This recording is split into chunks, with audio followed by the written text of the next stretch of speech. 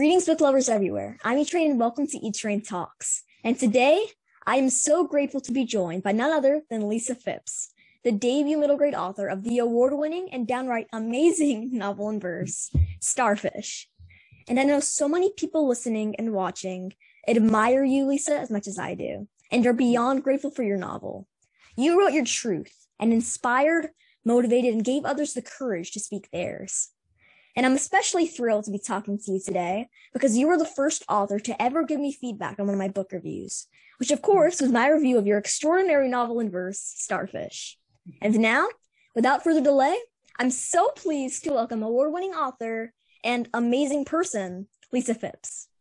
I am so excited to be here today, E. I am. Like, seriously. I think you're the coolest human ever. So I'm happy to be here.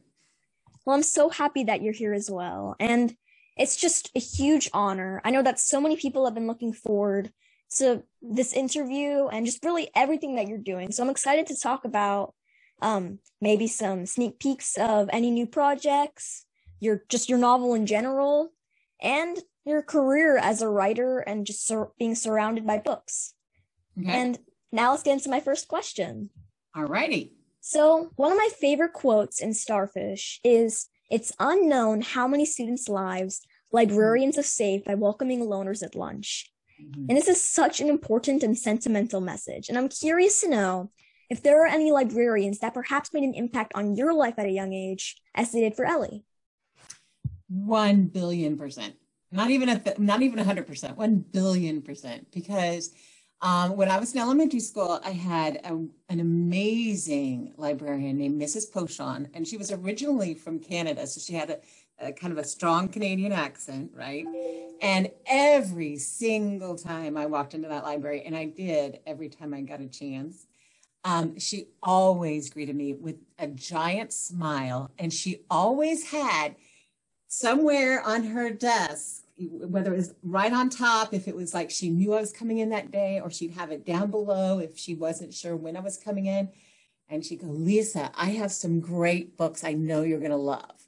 And the fact that, A, she smiled at me when so many kids and even some teachers, to be honest, were like mean to me because I was different and, and had a different size body was right there, just alone, the smile, you know, was would have been enough to make me adore her.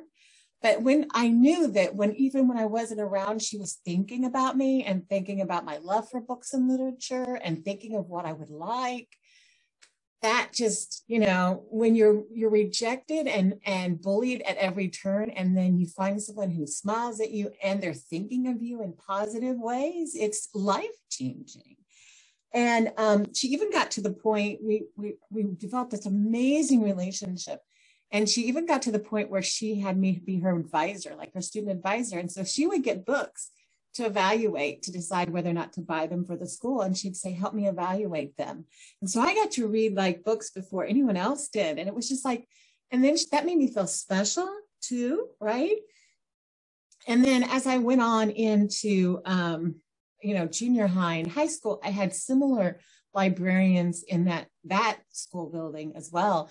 And they they technically you weren't supposed to go in the library during lunchtime, but they never said a word. They let me come in.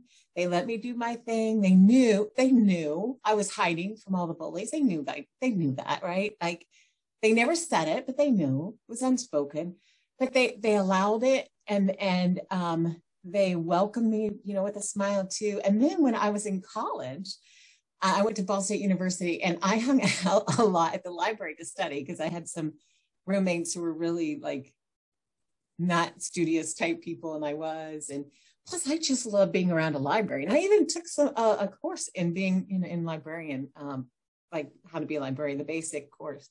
So uh, libraries have always been in my life that yes, librarians, I do think they make a difference in so many ways, not only in befriending uh, the kids who are not being befriended elsewhere, but just the fact that they try, and especially right now in today's society, they try to to like fight for the right for all of us to be able to read what we want to read you know, and to make sure that there are books on the shelves that represent everybody and that are written by everybody. So that's world and life changing. Yeah, librarians really are life changing. And if any of you watching are librarians, you're incredible people. And take it from Lisa Fipps, like mm-hmm. an, an amazing and inspiring person. You were so, like, everybody is so grateful for your impact that you've made on so many kids' lives. And I love your answer, Lisa. And it's, it's so true. Like, and the quote in your novel and verse, Starfish, librarians really have made an impact on people's lives. Mm-hmm. And I think that your whole novel and verse, it's not just like it may be considered realistic fiction, but it's also the truth. There's mm-hmm. so much truth to your book, and that just makes it even more special. And I'm interested to know, and I'm sure everyone else is listening is interested as well. Why did you decide to write Ellie's story in verse? You know, I think it was probably a combination of things. One of which is that, um, you know, Ellie and I are so much alike, right? Um, and her story aligns with my story. And I, I always tell people that Ellie got the watered down version of my life. Um, but, you know, I think in terms of poetry, like if I, if I had to sit down today and just write an essay of what today has been like, it would end up as a poem because that's how I think. And um, and so I think part of it is that. And then, and then the other thing is it's really interesting. My writing process is a little different.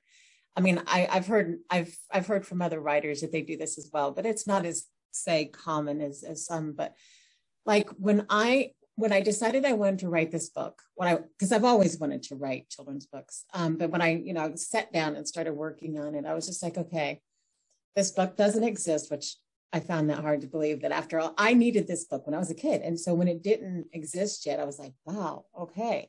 So when I sit down to write it, I thought, how do I tell my truth? How do I tell my story, but yet not it be my story, right? I mean, um, and and I wanted it to be contemporary, mm-hmm. and and so I got these little um, video clips in my head, and that's what that's how my writing begins. Is you think of like a Marvel movie trailer kind of thing, where you start to see like, oh, this is this Thanos guy is a bad guy, and yeah. this is sort of the havoc he's going to wreak, and so um i and and so i get like these little movie trailers and i got these movie trailers of ellie um, in the pool. And then I started getting some movie trailers of Catalina and the other characters.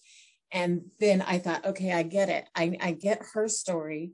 Now I can use my experiences and my emotions to tell her story.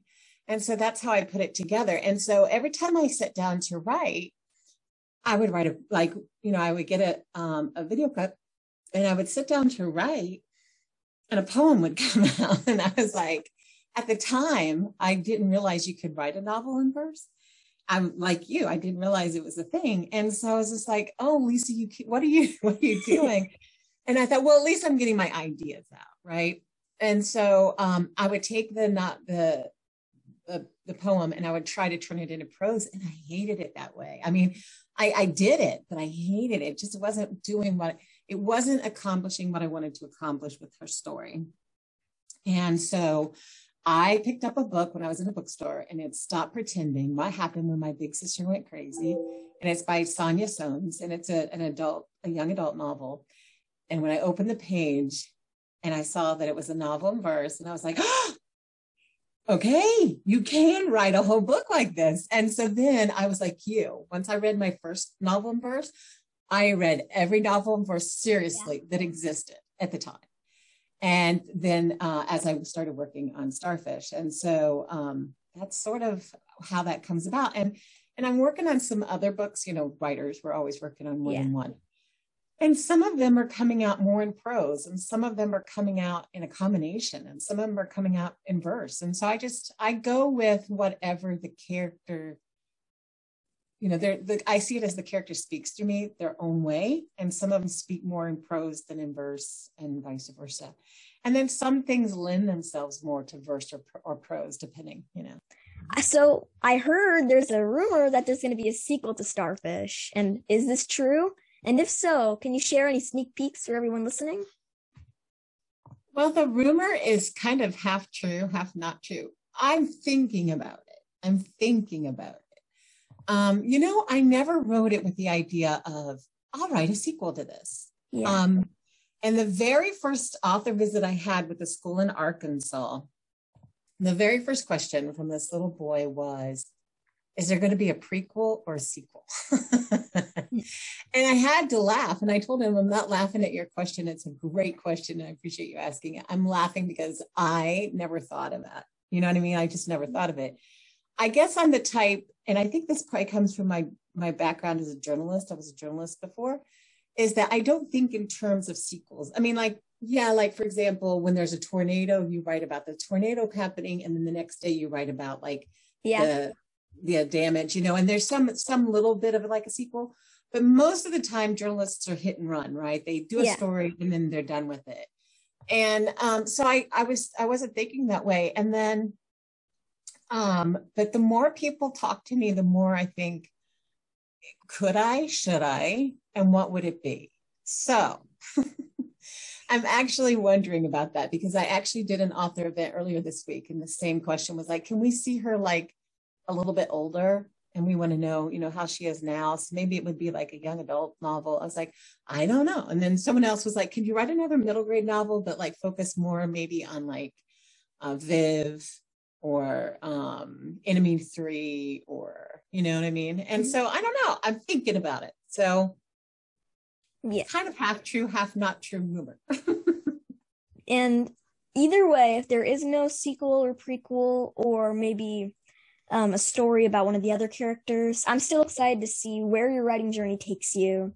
And I also feel I feel like that I feel like Ellie's story has been told, but I feel like there's more to the story. And mm-hmm. I know mm-hmm. that everybody who read Starfish, they really want to see another book in the series. Maybe not a sequel to Ellie's story, but mm-hmm. just something about that universe and mm-hmm. maybe Catalina. Catalina is who I'm really thinking about a lot as a mm-hmm. character mm-hmm. after reading Starfish five times. Um, Thank you. And you know the, the thing about Catalina, though, not to interrupt, is that you know her story is an immigrant story, and even though my grandmother was an immigrant, I am not an immigrant, and I feel like there are enough writers who are immigrants, and and that they should tell that story. Yeah. So I wouldn't say Catalina wouldn't be in another book, but she would still be a secondary character um, because I, I just feel like own voices is very important. You know, I mean, like I would, I don't think it would have been okay if someone who had never been fat tried to write Starfish. That's true. You're right. And so I think an, eh, someone who has an immigrant story should tell an immigrant story. That's such a true message. And now, speaking of your work as a journalist, my next question is about your journalist journey. Journalist mm-hmm. journey. Um, so Hard to say, I, yeah. so I know that you used to be an award-winning journalist, and I remember on an event you said that you wrote about hilarious topics like llamas and more. And this sounds so silly and just mm-hmm. fun and exciting to talk about. Mm-hmm. So, will you share some tidbits about your journey as a journalist? Wow, mm. journalist. Um, that's hard to say. And how it, is, it led to becoming a middle grade author. Yeah. So, um, yeah, sure. So you're saying you're asking like some of my some of my things that I've covered or done or yeah, like about what okay. you've covered and how it kind of led to Starfish and just writing okay. middle grade. Okay. I want to make sure I had your question yeah. right. So, you know, it's interesting because journalists never really get trained. I mean, we we go through obviously college and get a degree in it. Um, but and you know, where you learn about journalism law and all that. But your first day on the job is usually something along the lines of okay, you're going to be covering the police beat. So go down to the police station and read all the reports, see if there's something that sounds interesting. And they just, you're on your own, right? You there's not like someone like walking you through it. They're just go do it, you know? Mm-hmm. And I I love that though. I'm a very independent person and I prefer to just do my own thing. Um so that really worked for me, but you know, it was interesting because you have to think so quickly on your feet, right? So I remember driving when I first started. I had um, I was covering like a small town that was, and then reporting back to a, a larger newspaper. And so I was driving to work, and I see this fire like ten miles away. I mean, it's huge, just this wow. huge black plume of smoke. And my first thought was, I hope I didn't leave anything on in the office and burn it down. And so as I'm driving, I, I immediately start going into, okay, what all do I need to do? And of course, I instantly went to uh, and got, grabbed the camera. And then I went to the fire. And, you know, so because I'm like, I don't know if the actual photographer is going to get here in time before all the good, and I put that in quotes, all the good flames are gone, right? Because you want to get, you want to really represent the horrificness of what you're covering. So I was like, by the time he gets here, it was 13 miles away. I was like, I don't know if it's going to be all out and it's just going to be like, because there's black smoke when it's in full, it's it's in full um, active fire, and it gets gray as it goes down. And so I was like, we need the black smoke. We need those flames. I'm taking pictures. I'm asking questions. I'm writing them down. I'm thinking, who all can I talk to? I see witnesses standing around, and and I do all this and I'm interviewing everybody and I'm trying to take details of like step by step what the firefighters are doing. And, you know, and then the photographer did get there and they ended up using some of mine and some of his photos. And, um, but those are some, that was like my third day on the job. Really? Right? Yeah. So those are kinds of how it works. And I love that though. Um, but then I had some some good experiences too, some fun. You just never know what you're going to cover. That's the fun part yeah, of being a journalist. Is you, fun. Yeah, you wake up every day and like I got a call. Hey, we're teaching llamas how to square dance. we think that would be a cool story, and I'm like, I think that'd be a cool story yeah. too. Where are you, and how do I get there? And and then I go to the llama farm and I, I see how they've taught them how to square dance. And that was a fun story because actually Jay Leno and David Letterman, who are legends who are now no longer in TV, they they like jumped off my story. The Associated Press jumped off my story, and um, the people got so many calls that they literally blew up their answering machine really? uh, from that. Um, and then you know, and then I've done some some really sad stories. I did stories about um, people who were uh, unhoused and like how this these two pregnant women were living in a car because they couldn't find a home and afford a home and there was a long wait list and then there was a woman and her husband and her mother who were living under a bridge because our community did not have a shelter for homeless or unhoused sorry people. It just had you had two shelters. You had women and children and you had men. So if you were married they put the husband in one and the wife and children really? in the other. Yeah. And I found that to be exceptionally cruel because, you know, when you're unhoused and you've lost literally everything, you only have your family left and then they split you up. And so, um, what was amazing was um, a, a church, local church, who realize you know the benefit of hey you know we talk about god and we talk about love and but if we're not actually helping people they're never going to believe in a god right? And so they contacted me to get more information about these people then they contacted the local people and they raised money and bought a house and now there is um, a shelter for families in our community. So i that's my favorite story ever because when every time i pass that house i'm like if I had never written that story, families would still be being separated. And so there's fun stuff, you know, there's exciting stuff, there's scary stuff. Like, you know, I used to write about criminals, obviously. and I would get letters from prisons and threats and things like that. So there's this huge gamut, you know, and you just never know every day when you go to work what you're going to face.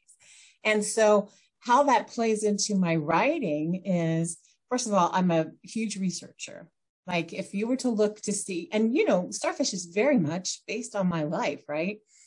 But if you were to see my bookmarks for Starfish, you know, off the internet, everything I want to talk about, I go and make sure there's proof behind what I'm saying. Mm-hmm. Like when I talk about uh, bariatric surgery for children, there are, you know, I found where people who children who are three and five and seven and 12 is becoming a common number 12. Uh, and I would like bookmark that. And I'm just a huge researcher. Uh, and then also, I'm just, I'm it really, you know, all those years I wrote at least, I think I lost track, but it's somewhere 6,000 or more articles in my lifetime. Wow. Yeah. And if you think about the fact that I kind of had a personal rule of trying to get at least three sources per article. So three people times 6,000. So I interviewed at least 18,000 people. So I pick up on dialogue and I pick up on mannerisms. And so that helps me when I'm creating characters. So everything that seems like, oh, that, you know, how would journalism apply to, um, you know, writing a book? Very much so. And if you think about it, there are some you know, Hemingway, Mark Twain, and others were journalists long before they wrote books. So it all, to me, tied together. Your whole career has been pretty much surrounded by stories, whether mm-hmm. they're news stories, stories in a library, or now your own story. So mm-hmm. looking back, is this something that you think young Lisa would have wanted? Would they like be be super duper happy that wow, future me has the job of a lifetime, or do you think that there were any other paths that you would have considered prior to your writing journey? Oh my gosh, Ethan, you're so good at this job. I'm just telling you right now. Thank like you. you're just really good. So, um, when I was a little girl, I used I all of I grew up in a neighborhood where all of the ch- children were older than me, like significantly older. Like when I was in second grade, some of them were getting married older. You know what I mean? And so I kind of had to be my own playmate, which I was fine with that though, because of A, my personality, but I love the arts. So I would sit under this rose of Sharon tree in our backyard. It was, it's technically a bush, but ours was overgrown and it was literally a giant tree. And I would read, write, draw, and listen to music. So all the arts, right? Yeah. And I thought, I want to write and illustrate children's books. I mean, that was just what I wanted to do. And um, so, you know, I studied art a lot. I took private art lessons. And one of my fun stories to tell is I would always tell my mom, I'm boring. I created a word, right? Boring with an ED. And I was like, I'm boring. I'm going to go create something. And she's like, okay. so um, we had a very long white hallway wall. And one day I looked at it and I was like, oh, that's a canvas, right? Yeah. So I grabbed the black crayon and I drew all over it like this masterpiece that probably would have ended up in the Louvre. Yeah. but anyway, I um I went and got my mom, had her close her eyes, led her into the hallway to show her this beautiful masterpiece I created. And um yeah, it didn't go well. so, you know, art critics are everywhere all the time, mm-hmm. right? And so she gave me a bucket of soapy water and said, clean it. And so I did. And I cleaned it all up. But then I was like, I have another blank can. so I did it. It's a never ending cycle. I know. And so I did that for years until finally I I you know she bought me enough art supplies that I was just like you know, the really good stuff. And then she repainted the wall. but um, so I think what I'm saying all that to say is that, you know, I've always wanted to tell stories. And I didn't have really the best the best childhood and there's some other issues that I haven't talked about in Starfish that happened. And so um, I was like uh, trying to escape my house, but you know, when you're a kid, you can't really like just yeah run away, although I did have a brief attempt to run away when I was a child. But um, so sitting under that tree and reading allowed me to escape my life, right? And enter someone else's life and and and also be inspired by other people and to think creatively. And then also I did that with my drawing. I could create the worlds that I wanted to live in instead of the world I had to live in. And so I think that to me is the power of story is the, how it transports you and how you can transport your readers. And so, but yeah, stories have always been in me all along. And, um, and I have always appreciated and seen the power of words and stories because I actually see words like paint supplies or art supplies. Like just if you know, if you want to think about words, to me, they're a brush, they're the paint, they're the clay, and you shape and form them however you want. And there are so many messages and themes interwoven into Starfish, like friendship and acceptance. But if you were to name another message you'd want your readers to take away from your beautiful novel in verse, what would it be? Hmm. You know, one of the things I think, and and I don't know that I I realized it would have this big of an impact when I wrote it, obviously, but mm-hmm. I think from reader feedback, what it, does is it really is that door and it is that window and that door, right? So for all the people who have lived Ellie's life, they finally see themselves in literature and re- represented authentically. And I think that's like crucial considering 70% of Americans are fat. And, um, you know, 70% of the market has been ignored for far too long, not just in literature, but in social media and media and the movies and everywhere. Uh, and so I think that's crucial. But I think that door too is crucial because I hear so many people. I actually got a beautiful letter from um, someone who had been in the publishing industry for years, very well respected. And um, she said, Oh my gosh, Lisa, my I had some fat relatives and I was always ashamed of them. And yet I I I wanted to defend them. And you have captured what that is like. Right? Um, and so I related to the mother because I understood that what she was really probably trying to do was like spare Ellie from pain because having grown up with a sister who was fat Ellie's mom knew what Ellie was facing in a different way than Ellie did and I think that the mom was trying to spare her from pain. And I think she thought, well, if I just change Ellie, if I get Ellie to change, the pain will stop. But I don't think that, you know, she realized that really that wanting um, Ellie to change and therefore really not accepting Ellie as she was was as hurtful, if not more hurtful, than the other part of being fat and being uh, bullied. And so, and to have this person, you know, and I've had people say that, you know, this changed me. It changed how I see fat people. It changed me how I see myself. It changed me, and I will never do that again. And and I think that door window thing that happens with literature is essential. I mean, you know, I you cannot be every person.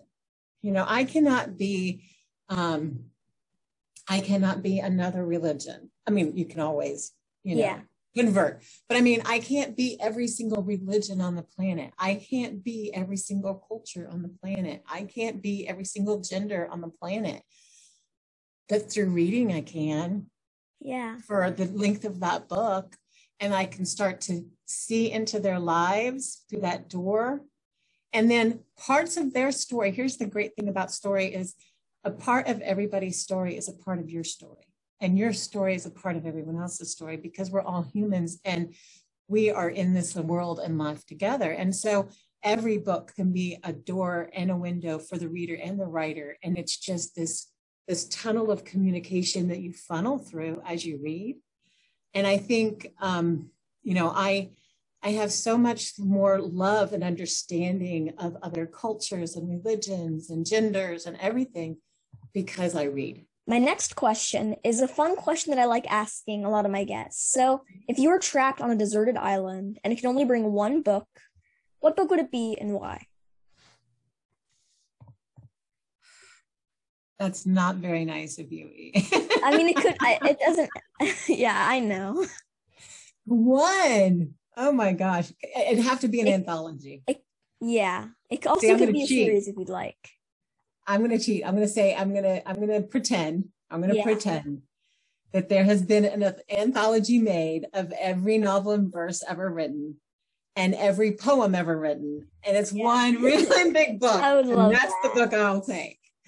Um, because I'm one of those people, you know, my my I'm very eclectic in um, what I like to learn about and think about. You know, I mean, and you think about that again, it goes back to journalism. I've covered everything from test driving cars to writing about, you know, the breast cancer gene and everything in between. And so I have this huge, like, you know, span of knowledge and interest. And um, I watch documentaries. It's like one of my favorite things to do. I'll watch live surgeries. I mean, I'm just that girl.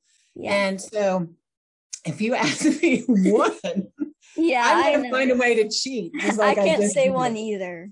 Yeah. It's an anthology of yeah. every poem and every novel in verse ever written in one giant volume. that's what I'll take to the island. And now it's time for my final question. The question I ask every single one of my guests. If you could be or meet any literary character, of course, um, you can't, it, not just one. It doesn't have to be just one. Although if, if it could be anybody, fictional or real, who would it be and why? Oy vey. I know. Um, hmm. Okay, I, you know this is a weird. This might be a weird one to some people, but um, you know, and and and yes, there's some criticism to him as a person, uh, and even him as a writer to some degree. But I've always been fascinated with Ernest Hemingway, mm-hmm. um, and because uh, you know he was a journalist and he was an um, expat and um, an author and quite eccentric in many ways and and yet i under seem to understand that in a lot of ways so i would love to pick his brain i think I, you know um he just seemed like and i love his staccato. He, he writes very staccato very uh um short very short sentences. And and i love his the rhythm of his writing. I mean, just to, even if you take away, you know, some of his issues as a writer and as a human, if you just study how he was able to use words, he did it masterfully. And, um, you know, you always want to study the masters, right? If you're, that's why they send art students to museums to like re, you know, to draw, you know, Van Gogh's work or to Monet or, you know, um, Picasso it's because you want to you want to be in the presence of masters and i think he's one of those that i want to know especially since our lives are similar enough you know between being journalists and authors mm-hmm. i would just really love to pick his brain about his craft and how he crafted his words how he used words. Well that is such a great answer and i'll have to look into some of ernest hemingway's works or really just kind of when i'm older study how he writes and maybe that's what i would do. Yeah the trying technique. to transport myself into his writing brain. And yeah. i can't tell you how happy i am to have had the chance to talk with you today lisa. The truth is without oh thank you and the truth is without you this podcast probably wouldn't exist and i mm. might not be interviewing authors and reviewing books and it just none of this would have happened without your positive feedback and just amazingly kind personality you're the first author to listen and respond to one of my book reviews, the first author to send me a signed book plate, which is in mm-hmm. here, and the first author to support my social media efforts and just my writing journey in general. So I just got to say thank you for everything. I haven't had the chance. This is our first Zoom meeting together, and I hope that I can say thank you in person one day. You're the kind of writer that lights up the room and makes the world smile. I can't wait to read whatever your next novel is and I hope you'll come back and talk with me about it. Thanks so much for sharing your book journey, Lisa, and it has been such a pleasure. You are the best. Oh, thank you so much, E. Likewise, on all accounts. Thank you. And lots of likewise, you're likewise back. well, likewise till infinity and beyond. There we go. Yeah, I agree. you're an incredible person. And everybody, if this interview hasn't persuaded you to get your hands on a copy of Starfish, well, I don't know what will. Lisa is, her answers were insightful, interesting, and just downright special. And I'm honored that I had the chance to talk to you today, Lisa. And everybody, you need to get your hands on a copy of Starfish. And also, I think you should also check out Lisa Fipps's website.